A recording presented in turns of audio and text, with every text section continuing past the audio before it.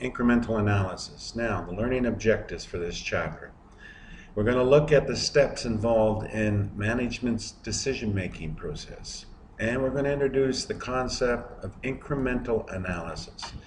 And then we're going to apply that. We're going to apply that to whether or not we should accept an order, whether we should make or buy a decision, and other relevant costs involved in repairing, retaining, or replacing equipment, or deciding to eliminate an unprofitable segment or product. To begin with, management's decision-making process. There is no set pattern. However, the steps, the important step is to identify the problem that we are going to analyze. Now, if we have a problem, it means we have at least two alternatives or choices, maybe three. If we don't have any alternatives or choices, we don't have a problem. But because we have a problem, we have a couple of ways to go about solving this problem. So then you determine and evaluate the possible courses of action. You make a decision, you choose one, and then you review that decision with when you get results um, of your decision in the future. Okay. Keep in mind, there's both quantitative and qualitative data. That is data that I can measure, financial, revenues and costs, profitability.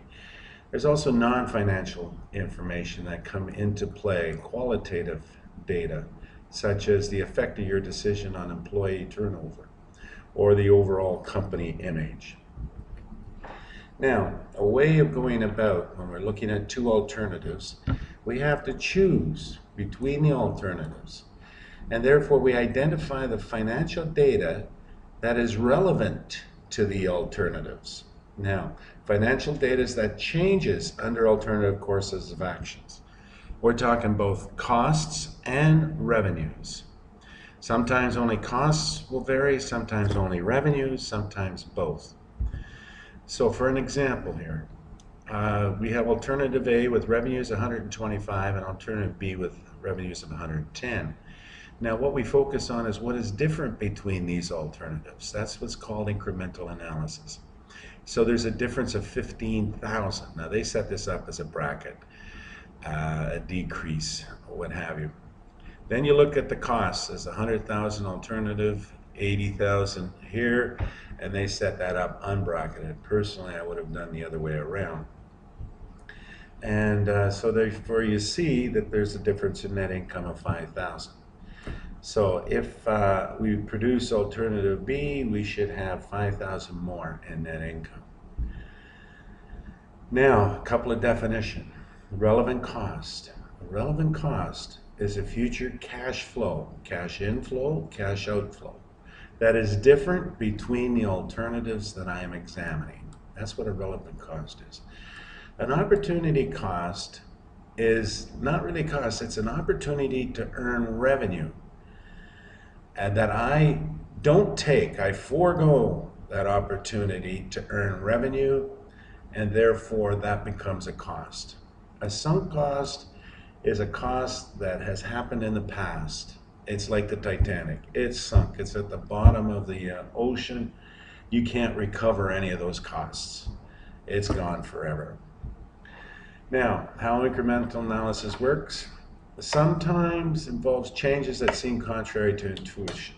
Yeah, various variable costs sometimes change, but sometimes do not change under the alternative. Fixed costs also, sometimes they change, sometimes they don't change. You have to analyze every situation um, for the relevant costs and revenues at each one of them. You just can't categorize them and say variable costs will change and fixed costs will not. Now we're going to apply incremental analysis to four. Accept an order at a special price, the make or buy decision. We're going to skip this one and we're going to just look at repair, retain, or replace equipment, or eliminate an unprofitable business segment or product. Now, these are decisions that management have to make on a fairly regular basis. And we'll take them one at a time. And for each one of them, I have done a problem in your textbook. So you can look at Show Me, where I introduce the problem in the page from the textbook and I go through the solution for accept an order, make or buy, replace equipment, or retain a business segment. So you, for each one of these, you can check the Show Me folder. Accept an order at a special price. Businesses uh, sometimes, you know, they have their products that they sell in their local market, like here in the UAE. But sometimes a customer comes from another part of the world and wants to buy your product at a special price, one time only, uh, and take it back to their country and sell it. Now, if you're not operating at full capacity, you have the extra capacity to produce this product, what should you do? Well, let's take an example. Sunbelt Company produces 100,000 smoothie blenders per month, which is 80% of their plant capacity. So they have extra capacity. Variable manufacturing costs are $8. Fixed manufacturing costs are 400,000 or $4 per unit because they're doing 80,000 units. Sun, the blenders normally sell directly to retailers at 20. Sunbelt has an offer from Kensington Company, a foreign wholesaler, to purchase an additional 2,000 blenders at $11, not 20. Acceptance of the order would not affect normal sales of the product, and the additional units can be manufactured without increasing plant capacity. What should we do? Well, first of all, the issue is whether or not to accept this order at a special price, whether or not. Uh, I could accept the order as one alternative, I can reject the order. So you define the issue, and you look at your alternatives, reject the order and accept the order. Now, if I reject the order, well, I get Zippo and revenues. If I accept the order, though, I'm getting 2,000 units at $11. So I'm going to get 22,000. So my revenues will go up 22,000. Costs, well, if I reject the order, I incur no cost. I don't have to manufacture them. But if I accept the order, I have to manufacture them. So there'd be direct material, direct labor, variable overhead. And therefore, I would incur 16,000 and costs we usually bracket it. So the net income then is going to be 6,000 if I choose to accept this order. My net income. I don't know what my net income is now, but after I accept this order, whatever it is, it will go up by 6,000. In this case, fixed costs do not change because we already have excess capacity. Therefore, fixed costs are not relevant. The variable manufacturing costs and expected revenues change. Both of those are relevant. Remember, relevant is future cash flows. This is a cash inflow, and this one's a cash outflow. That is different between the alternatives. Okay. Now, another type of decision is the make or buy. And again, I did an example and show me for you.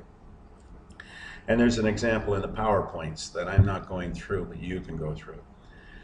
Here we have Baron Company incurs the following annual costs in producing 25,000 ignition switch for motor scooters, while they have direct materials, 50,000, direct labor, 75, variable overhead, uh, 40, fixed overhead, 60. So total cost per unit, 225 divided by 25,000 units gives me 9,000, uh, $9 per unit. Now, Baron Company comes along and says, okay, we will sell you those switches at a price of $8 per unit, not 9 Well, what should we do? It sounds like a good deal. This is also uh, an outsourcing decision that many businesses make. Well, again, whether or not to continue manufacturing my product or to stop manufacturing and buy in my product. That's the issue. So my alternative is to continue to manufacture or to buy. Now, if I continue to manufacture, I have 50,000, but if I buy, nothing. If I manufacture, I got to pay labor. If I buy, I don't have to pay labor. I stop production. Uh, variable overhead, I don't have that because it varies with production. And if I'm not producing, then I don't have variable overhead. Okay, but fixed overhead, ah, total manufacturing cost, the absorber least 50 of the under either option. So you see, if I buy, I will not get rid of all my fixed costs. Okay, I have incremental 10,000 more under the make decision. If I purchase though, it's. So the total cost is 250,000 here. And therefore, the difference between the make and the buy is 25,000. So I would continue to manufacture. There's an opportunity cost here. Let's assume if I stop manufacturing, I have an empty space and I can therefore use that empty space to earn revenue. Well, if that's the case, then in this case, we can generate 38,000 in additional income for producing a different product.